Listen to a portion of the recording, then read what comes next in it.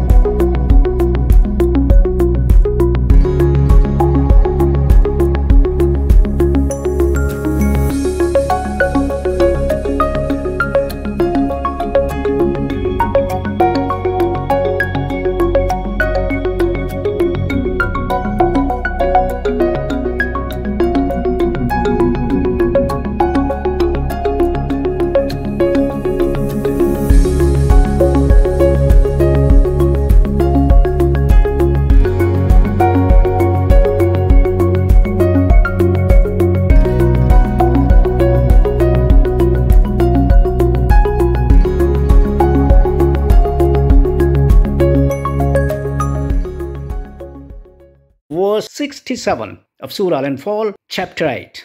ما كان لنبي أن يكون له أسرى حتى يسخن في الأرض تريدون عرض الدنيا والله يريد الآخرة والله عزيز حكيم.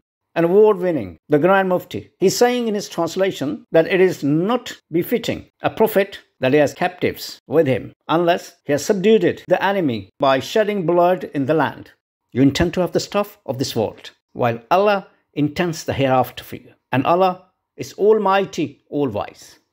So, this is the translation of Grand Mufti of Pakistan, which can be seen on their website, QuranUnlocked.com. The person concerned with the false translations of this Quranic verse further said that is there anyone in this group who can explain this verse? He highlighted again and again that this translation is given by the Grand Mufti of Pakistan. He added that almost all translators of the Quran have done the same translation of crush it, kill it, cut and bleed. Shocked by the false translations of this Quranic verse, the sad person further asked, That is this really what this verse is saying? He said, Does God have a vampire form? Is there anyone who can clean this dust? The short and common sense answer is that the Quran doesn't say anything immoral or dehumanizing and doesn't encourage murder, bloodshed, violence, and oppression. As for cleaning the dust on the translations of the Quran, you can do this yourself instead of depending on anyone, including myself. All you have to do is to compare the words in the Arabic text of the Quran with their translations. You do not need to be proficient in Arabic language for this work, but only a working knowledge of Arabic language is enough. For example, you will need to see this Arabic text. ما كان لنبي أن يكون له أسرى حتى يسخن في الأرض تريدون على الدنيا والله يريد الآخرة والله عزيز حكيم and find which Arabic word means subdue the enemy by shedding blood or to kill or crush people. In the same way, compare other words of this verse one by one. And bear in mind that what is written in the brackets in the interpretations and translations of the Quran is only to maintain the flow of false translations and fake interpretations. So there is absolutely no need to pay any attention to it. Apart from this, if you put religious teachings and prevailing beliefs aside and try to understand the Quran only from its words that appear in the Arabic text of the Quran, then you will be able to understand the Quran without any difficulty. Let's study the words coming in verse 67 of Surah Al Anfal, chapter 8 of the Quran, and see the correct translation of this Quranic verse. In the phrase, Ma kana li nabiyyin, article ma, which I've already discussed in so many articles, that if ma comes before the past verb, in most cases it is negative. That is ma al nafiya. The word kana, actually the past tense of kun, which means made, happened, or instituted. The same word kana is taken as a linking verb in some sentences according to the need to mean was as a past of be, like be was been. Then linabiyin is a compound, right? So you have to look in this compound so many things. First is preposition li in the beginning, which is used to mean to, in order to, and for. Tanween singles the word out to mean a prophet or any prophet, a nabi or any nabi. So this tanween, two dashes like sign marker, yin in the end of ya of nabiyin, singles it out, the prophet and nabi. So the correct translation of al Nabiyin will become it was not made for any prophet or it did not happen for any prophet. Either any or a you have to use with prophet because of tanween. So it wasn't made for a prophet or it didn't happen for any prophet. Either you can say it didn't happen for any prophet, or you can say it wasn't made for any prophet. The next article is conjunction an in anyakuna. That means simply that. Whereas yakuna is the objective and passive state of the present verb of kana. It's coming from kun anyway. So it's passive. Yakuna is passive in present.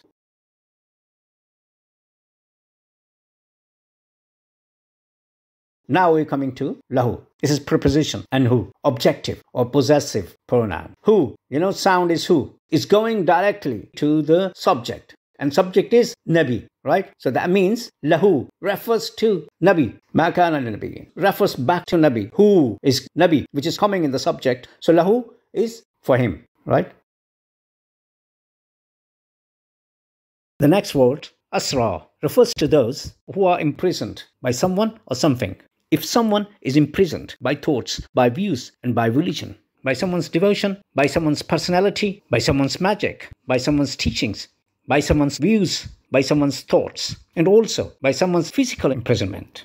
So any, any, anything, imprisoned by anything is asra. So asra, imprisoned by anything, or imprisoned by person. When you take asra as a plural word, asra is broken plural or irregular plural in Arabic language. But in reality, asra is elative noun or superlative adjective or gerund because of ya in the end. When ya comes in the end, it works as gerund like ing form in English. So asra, same time, broken plural, elative noun, superlative adjective, and gerund. So it can refer to captives, prisoners, and imprisonment and captivity as well. It can refer to imprisoned by someone, imprisoned by something, someone's captives, someone's slaves, and someone's obedient or obeys, those who obey someone. But at the same time, the same word, asra, also refers to captivity, imprisonment, slavery, and obedience. This is because the word asra is elative noun, superlative adjective, and gerund at the same time. The details of making and use of elative nouns, superlative adjectives, and gerunds is available on my LinkedIn profile and on some YouTube lectures.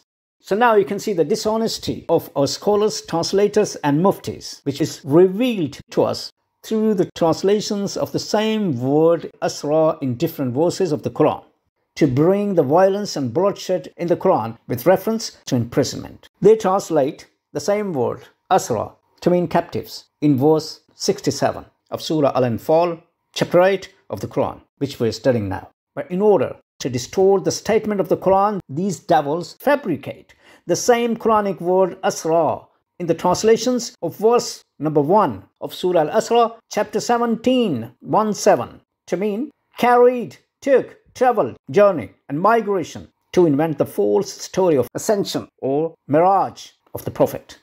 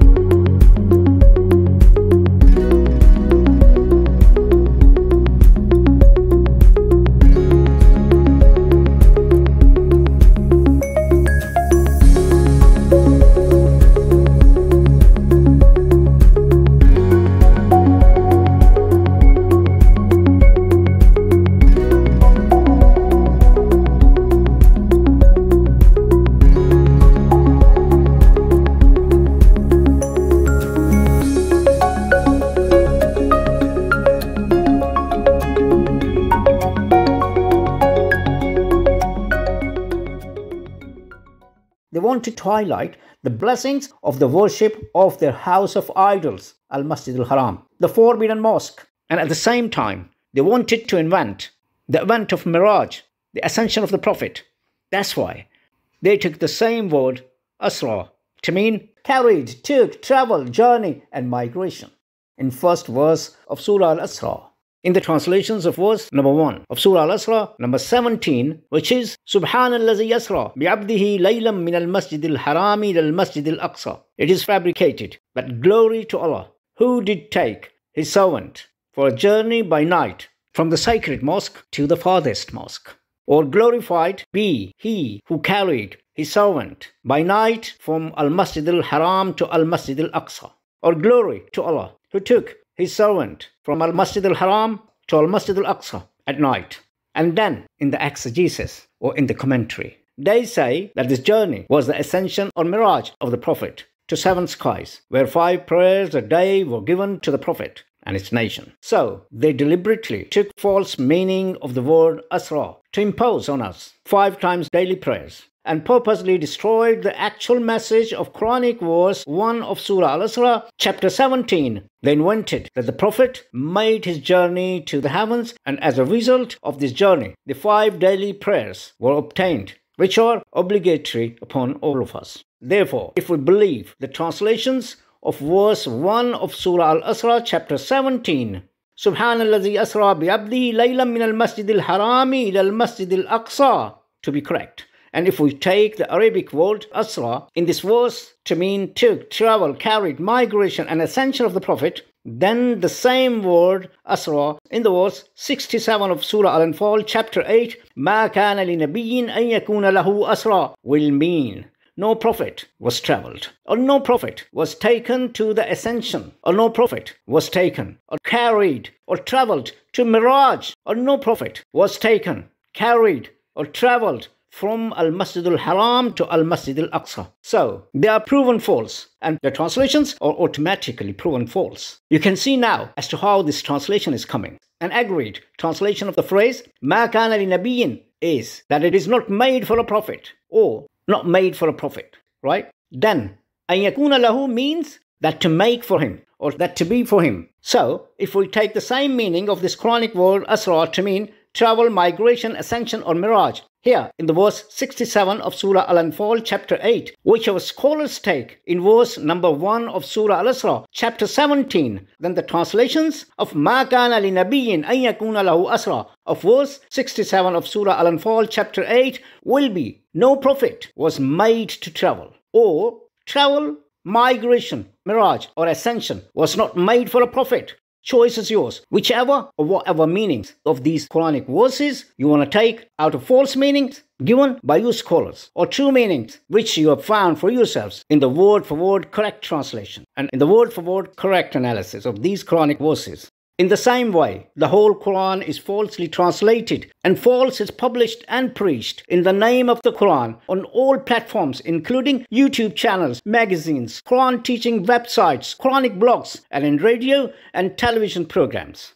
Where are those so called intellectuals who claim to interpret the Quran with the Quran? And where are those Quranist scholars who are the so-called proclaimers and flag carriers of Tashrif Ayat, which is a false practice of taking the same meaning of Quranic words all over the Quran, wherever they appear in the Quran, without taking into account their context. They choose every single word in the Quran and take the same meaning of Quranic words everywhere in order to fabricate the false interpretation of the Quran and insist on taking the same meaning in every verse. But they still don't understand the Quran. Neither their followers understand the Quran. They don't understand the Quran. If they take the same meaning of Quranic words everywhere, the question arises as to what was the reason of not taking the same meaning of Quranic word asra in these two Quranic verses. This is quite obvious that the proclaimers of taking the same meaning of Quranic words wanted to hide something in the translations of these two verses.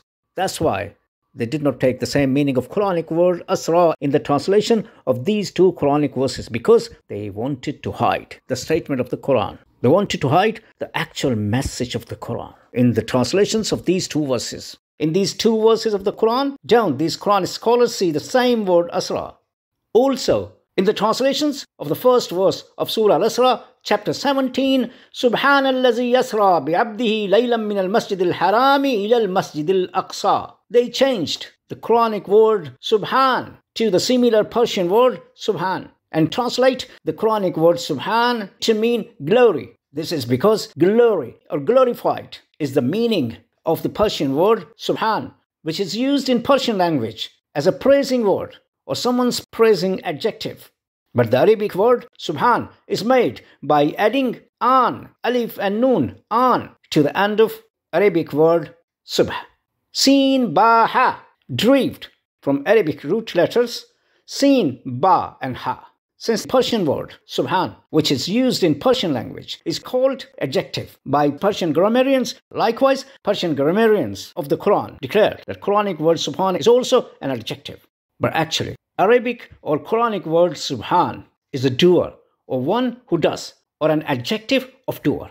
Like the Arabic word rahim, derived from the word rahm, is an adjective, meaning one who has mercy or kindness. But when Rahman is made by adding alif and noon on at the end of the verb of Rahm, Rahman actually becomes the doer, like Falan from Fail, or on the weight of Falan from Fail, which means who does kindness or who shows mercy.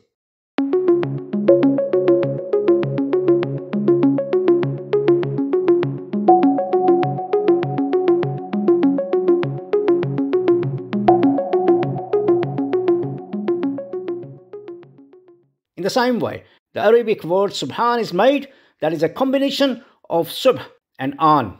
Moreover, a round voice of subhan or a comma like marker dhamma on Arabic letter sin of subhan is nothing but a way to make subhan a nominative which refers to the subject or makes subhan active participle or subject or doer who takes the action of the verb subha.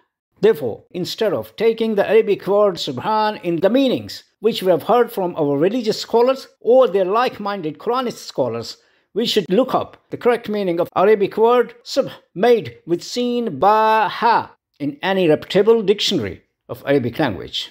The word subhan of the Quran is derived from Arabic root word subha, sin ba ha, which is used in Arabic language to mean float, swim, and cause to move. Whereas the verb of the same Arabic word subha is used in Arabic language to mean bear up, carry on, manage, and deal with the situation.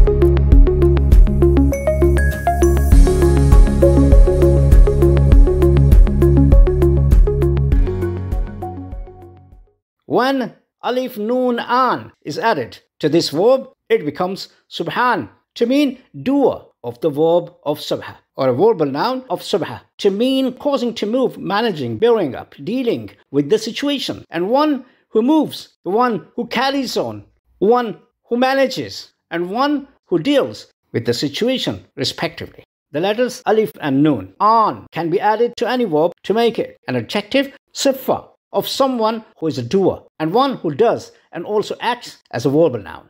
So when alif noon an is added to the verb of rahm on the weight of falan, rahm becomes rahman, meaning one who shows mercy or one who does kindness. Moreover, in Arabic language, the Arabic word al-majid is used to mean glory, and Arabic adjective al-majid is used to mean glorious or glorified. Since our childhood, we have been saying the same Arabic word majid in the form of its adjective, majid, which is usually written with the Quran as Quran Majid, means glorious Quran. But we still understand the Quran with the false meanings given by our so called scholars. Is this not their hypocrisy or dishonesty? Yes, this is because they invent things in the false translations of the Quran according to their religious belief. Actually, in the first verse of Surah Al-Asra chapter 17. Subhan allazi yasra bi'abdihi laylan min al-masjid al-haram. It is said, it is he who removed through his obedient the captivity of ignorance of al-masjid al-haram. There? Subhan means mover. Subhan, mover, remover. Allazi, who moves, who removes. Allazi yasra. That is the captivity, captivity, imprisonment. Bi'abdihi, with his obedient. Laylam. So laylam is the word which denotes ignorance and darkness min al-masjid al-haram, of masjid al-haram, the forbidden mosque.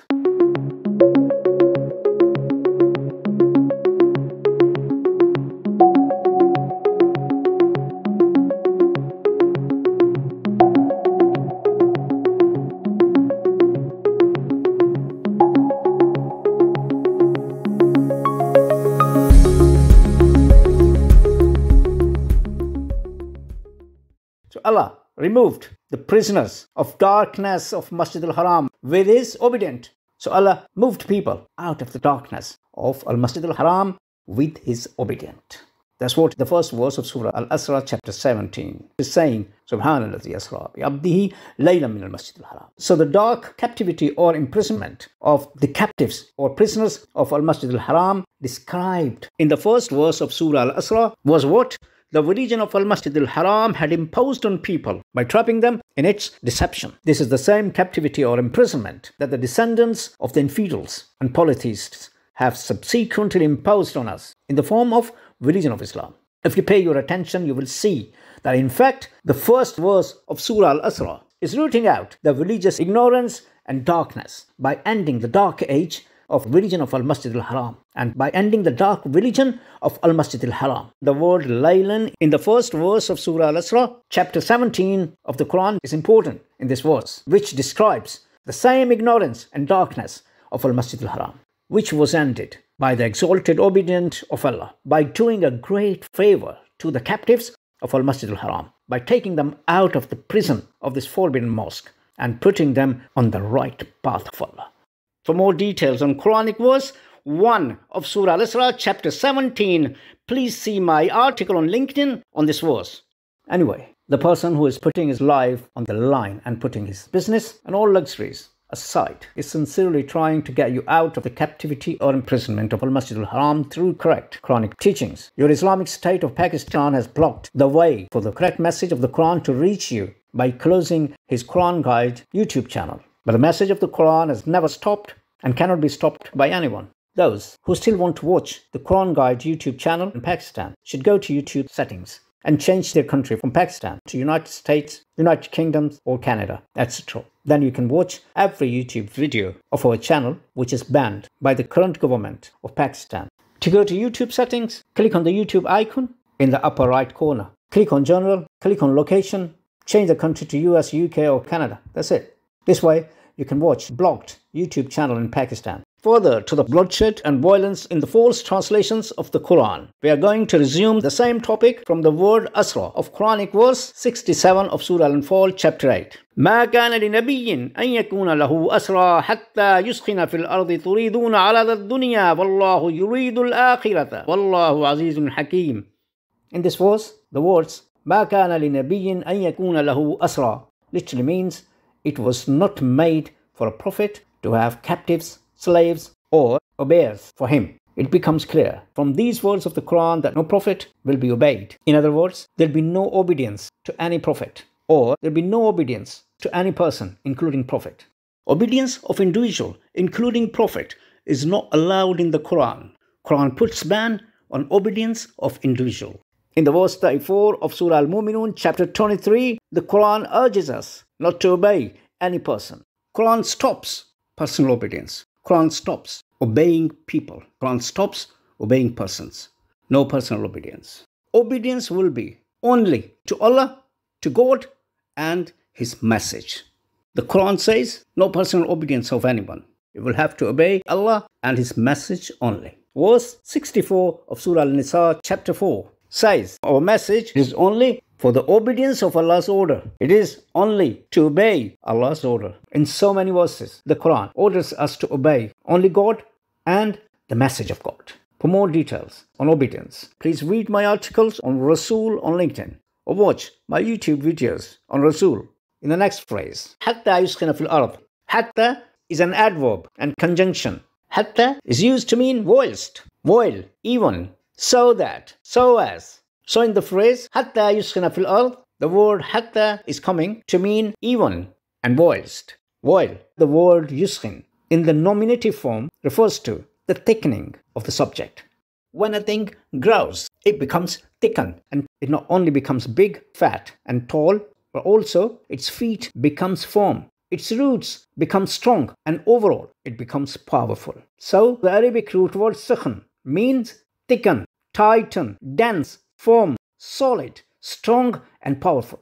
Therefore, derived from the Arabic root word sakhan, the correct meaning of yuskhin, are also the same to be thick, to be fat, to be solid, to be firm, to be strong, to be stable, and to become powerful. The same or similar meaning of Arabic word sukun can be seen on page number 332 of PDF, book number 1 of Edward William Lane's Arabic Lexicon. Moreover, since yuskhin is nominative in its voice, therefore Yuskin is talking about the power, strength, and firmness of its subject, which is Prophet, coming in the beginning of this verse.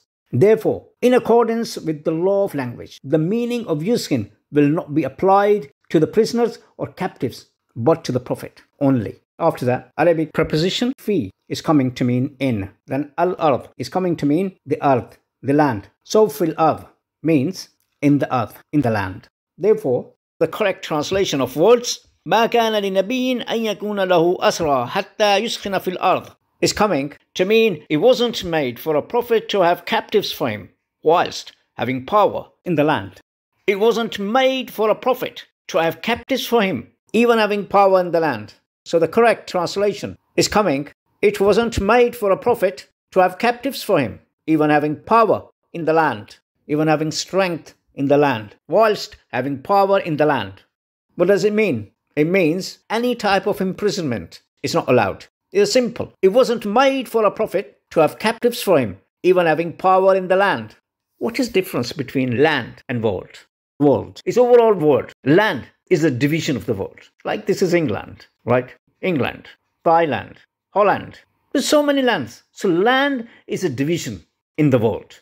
It's territory, it's area, it's country, it's division. Like we can say homeland. So it's in own area It's someone's own area. So land is someone's own area, like territory or area or boundary. Someone have his own boundary.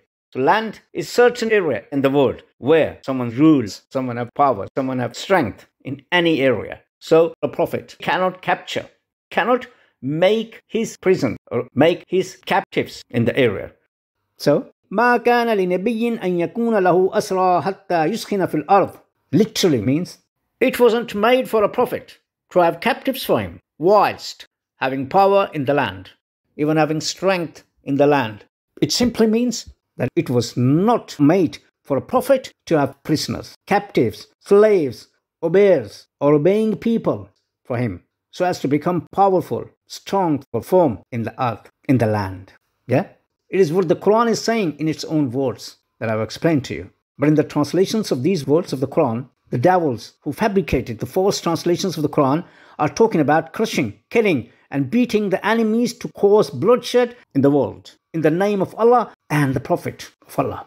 The riots, bloodshed, and killings happening in Pakistan. Neither the politicians nor the army generals are to be blamed, but this is the fault of our religious leaders who taught the whole nation through the false translations of the Quran that the Quran orders looting, killing, and bloodshed when our official award winning scholars will make false statements of the Quran that the Prophet imprisoned people and killed them, or the Prophet committed bloodshed on the prisoners following the orders of Allah. If the Prophet continued to kill and crush prisoners, our rulers will also do the same, following the commandments of Allah and Sunnah or practice of the Prophet.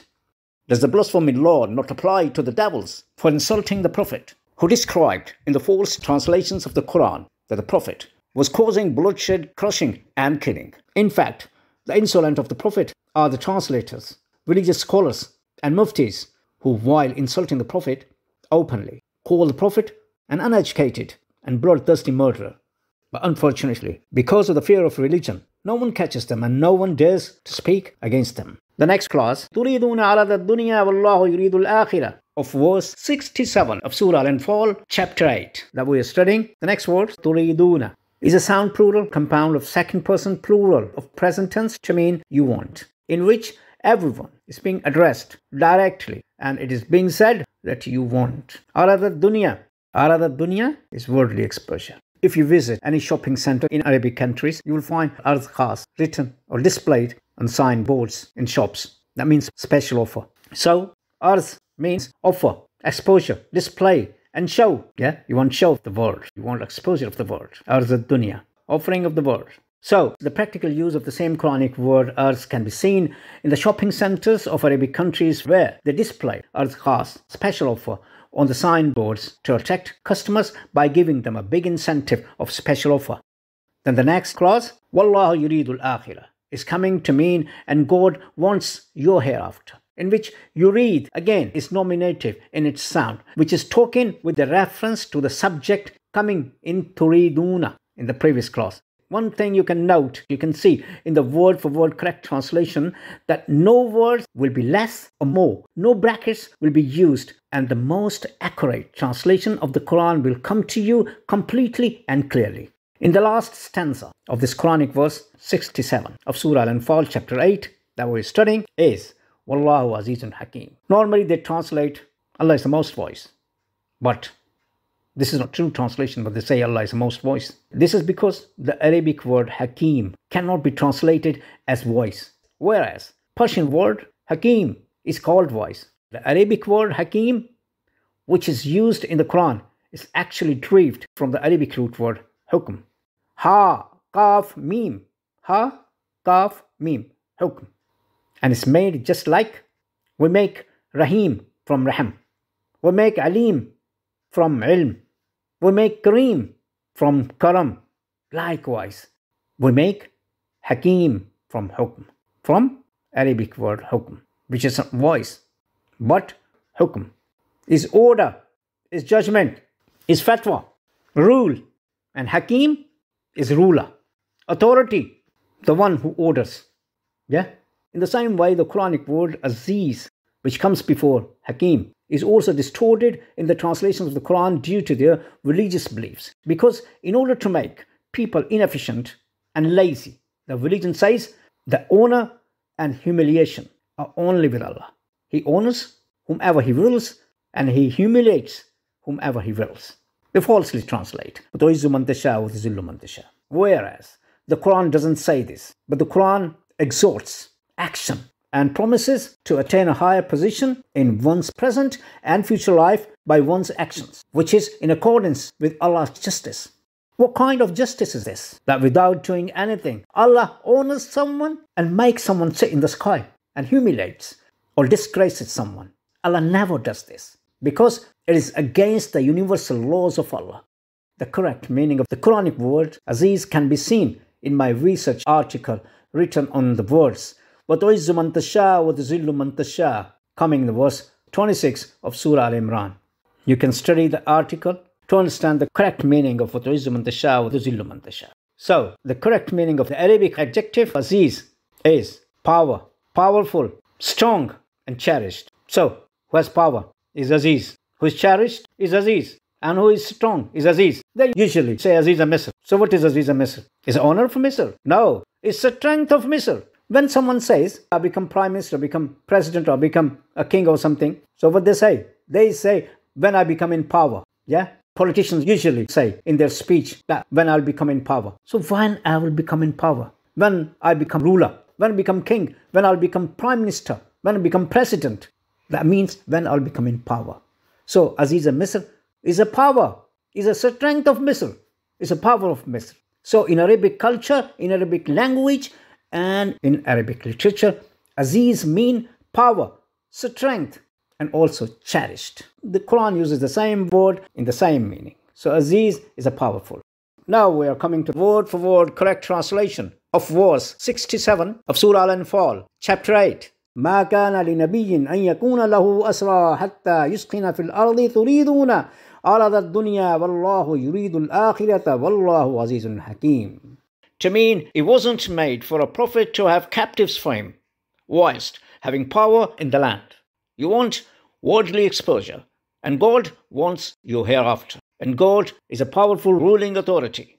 So the correct translation is coming to mean it wasn't made for a prophet to have captives for him, whilst having power in the land. You want worldly exposure, and Allah wants you hereafter. And Allah is a powerful ruling authority. This is the word for word correct translation of Quranic verse 67 of Surah Al-Anfal chapter 8, which I've honestly presented to you. There's not a single word in the Arabic text of verse 67 of Surah Al-Anfal chapter 8 of the Quran which our extremist religious scholars have taken to mean bloodshed, crushing people, killing, looting, and beating enemies. In the false translations of this verse, they blame Allah and the Prophet of Allah. In the false translations of this verse, they insulted Allah and the Prophet of Allah and declared it as a command of Allah and an act of the Prophet. As usual, once again, I challenge the whole world that all the muftis, all scholars of the Quran and all Arabic scholars together prove my translation wrong. Otherwise, destroy the false interpretations and fake translations of the Quran and stop misleading people in the name of the Quran. See you in the next video. Thanks ever so much.